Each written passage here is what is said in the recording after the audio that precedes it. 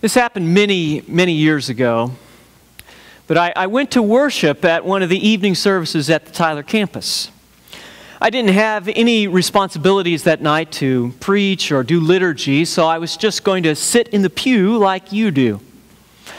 And since I didn't have any pastor responsibilities, I, I didn't wear this collared shirt with the clergy tab. I was just in my work clothes, which was business casual, no tie.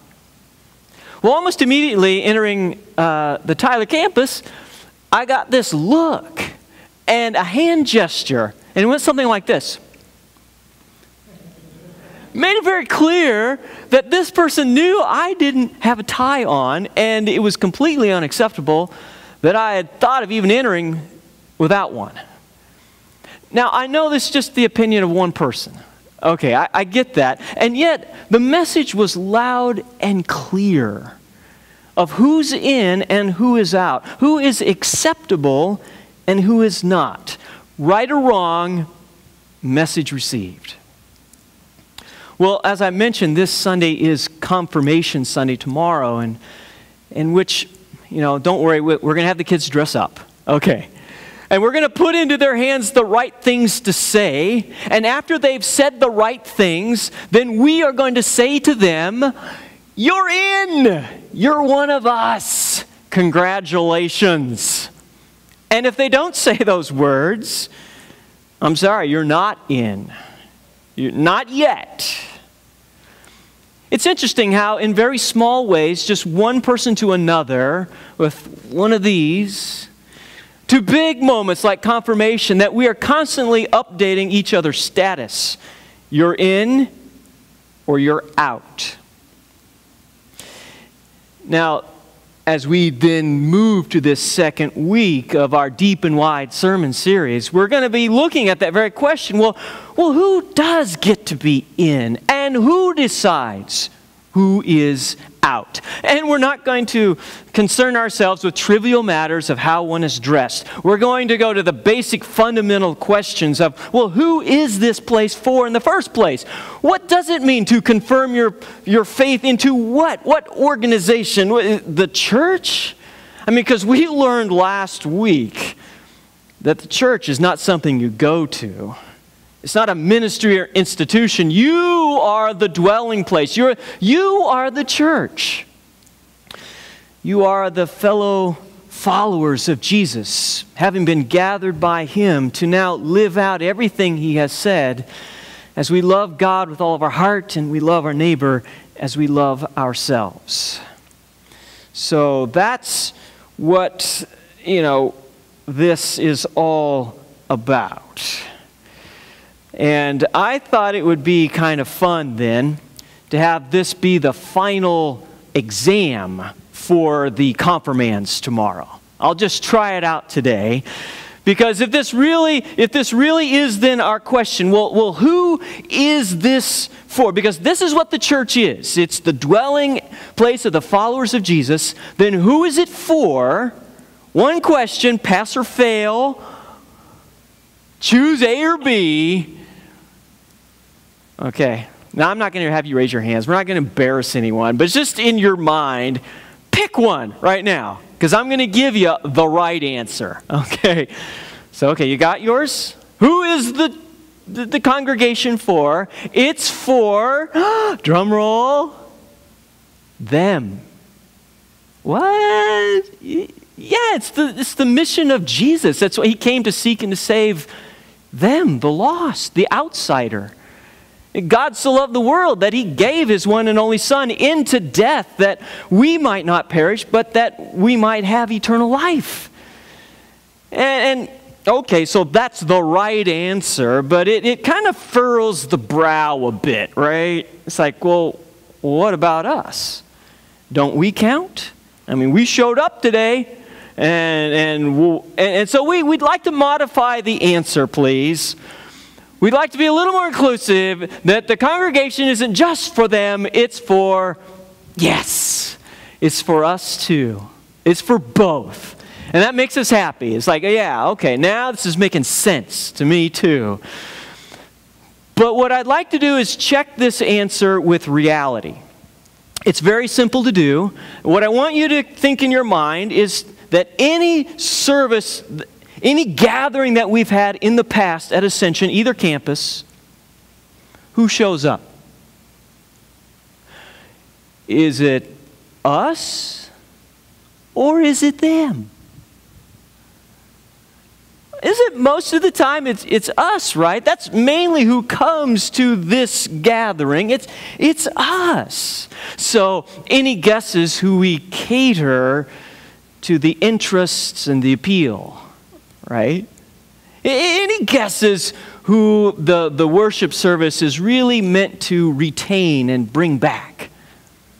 Any guesses who the sermons are meant to really, you know, speak to? Yeah. Um, yeah. Okay, now we've got the answer, right? This gathering is really about us and it's for us. You know, the door's open though, and anybody could come in, and we welcome all comers, right?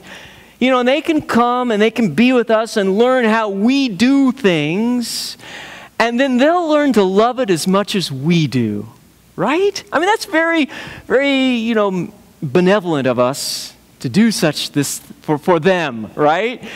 And, and, and you know, I'm just going to be really honest with you. That is the ministry model of our congregation.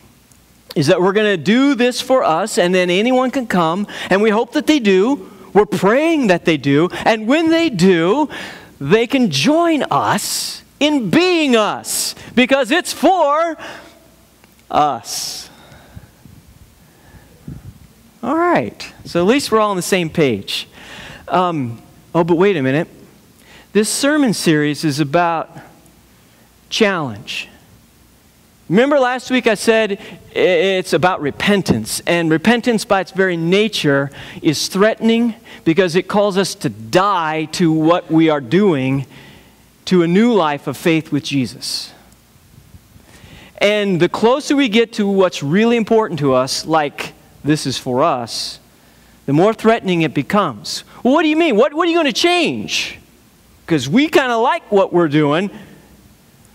See, as we get really close to looking at this, we, we, we begin to get very defensive. Like, what we do here is good. In fact, I even said it was good last week, remember? Like we do worship well. And, and, and you think about everything we do, it's Christ centered, it's biblical, it's true, it's right, it's good. And so there's really not much we need to fix here. And I will agree with you that all of that is true. We are all of that and more. But is it possible? Is it the remote possibility that you could be right and orthodox and Christ centered and biblical and still be wrong? Is that possible? Well, let's just, again, play it out in reality and, and what happened, at least in the reality that Jesus experienced at a party. Let's ask Simon, because he was a guy who was right and he was Christ centered. He invited Jesus to his house, right, to the party. And when Jesus got there, Jesus himself agreed that Simon, you are someone who just sins a little bit which meant the rest of his life, his personal life, was in good order, his religious life, his family life, his community life, it was all being done right. But I don't want you to look at what Simon was doing right. I don't even want you to look at what the little bit he was doing wrong. What I want you to look at is who got to touch Jesus at that party. Whose worship at that party of Jesus was acceptable? Whose heart was in the right place and whose wasn't? Whose offering was applauded by Jesus and who was admonished? Was it the good and right man Simon who sinned just a little bit? Or was it the woman? See, who did Jesus say was in and who did he say was out? Now, before you answer that, keep in mind that uh, Simon had every opportunity to be someone who touched Jesus. As soon as he came into his house, the, the local custom of that day was to greet one another with a kiss on the cheek. Simon could have been the one to pour oil on the head of Jesus, showing every guest and visitor to his house that this is a man of high dignity, of high worth, almost someone you could call a king as we anoint him with oil. Simon could have put himself in the place of washing the feet of Jesus now, each one of these touchings of Jesus, it, it's very intimate and close quarters, and you need the permission of the person that you're touching to do that kind of touching. And Jesus had given him all of that permission and more. In fact, Jesus was a bit shocked that none of that had happened. It's like, You didn't do any of this for me. Jesus did not say to Simon, You're out. Simon excluded himself. Simon didn't touch Jesus because he didn't want to. He kept him at a guarded distance that, he, that way he might evaluate what Jesus had to say and his manner of what he did. And thank heaven he did. I mean, good, because look what Jesus did. If he were really a prophet, he would know what kind of woman was touching him, right? And that she was a sinner. But he didn't. He didn't have a clue. And so when you look then into the heart of Simon, you find that there was no devotion for Jesus, no great love, no admiration, no trust. In fact, there, there was nothing there that said, My life hangs in the balance, Jesus, of what you think about me and what you say about me. Because Simon was already in, so he thought, with God.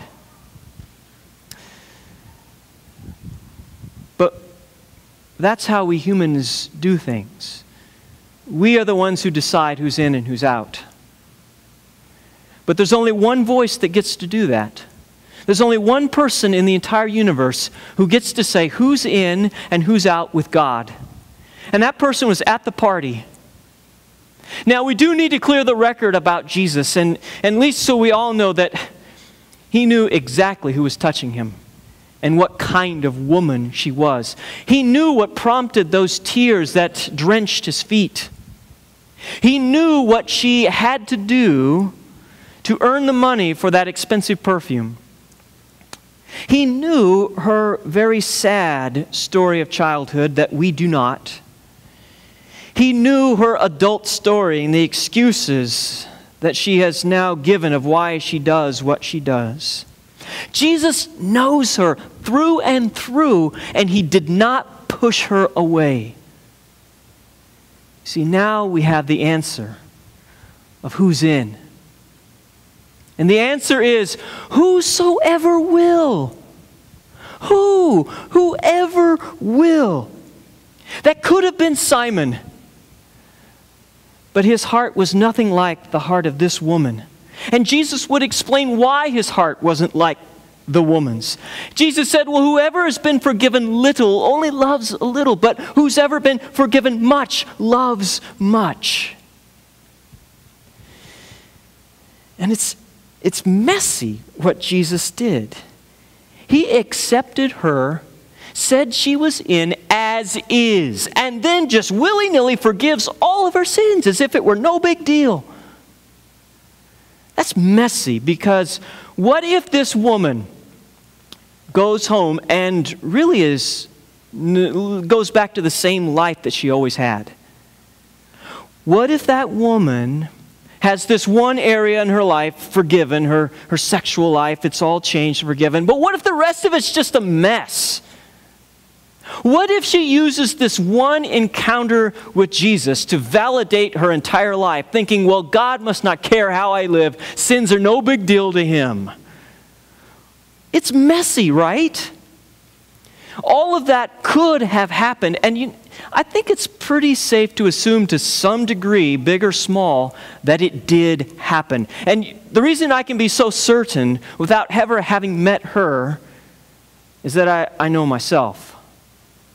I know how messy my own life is, and I hear Jesus say day after day, You are forgiven. I love you. I dwell within you. It's messy. And yet, Jesus says, Whosoever. Well, that really bothered Simon and his guests. Just to see how amazing God's grace is and how big and deep and wide his love is. But Jesus, it really, his really is the only voice that matters. And, and he sounds the caution bell to anyone who thinks that they only sin a little, that they really have their life in good order, and that they are in with God simply because of that. He, he calls to repentance every heart that would think that, because you may find yourself not in, but out. His voice is the one who makes that determination. Our lives then hang in the balance of what he says. And do not be worried or concerned that he says also to you, Whosoever will, I will receive. And I forgive your sins. And it's not willy nilly, it was at a great cost. And it's messy. But you know, God's okay with the mess. He really is. And you know why we can know for sure that He's okay with the mess? And, and the vicar, he, he said it a couple weeks ago. He said that, remember this line? That, that Jesus didn't come to make bad people good, He came to make dead people alive to God. That has to be the message of this place. That whosoever will is welcome at our Jesus party. That whosoever the mess, can receive his forgiveness. Whosoever he will lead into a life that is like his own of holiness and goodness and rightness. But he doesn't do it all at once, it just doesn't happen that way. And so the church has to be for them. Because the truth is, we are them. And so as we live out as we turn in repentance, as we really do change how we minister and, and do our ministry here in very small ways from this to, oh, you're making noise over there. Oh, you know what her life is like, right? We are all them. To help us, then, the sermon take home is Philippians 2 1 to 4. And then a prayer and the prayer is Jesus, may we be a gathering for others, trusting that you will take care of us. May the Lord bless us and keep us in his kind care. Amen.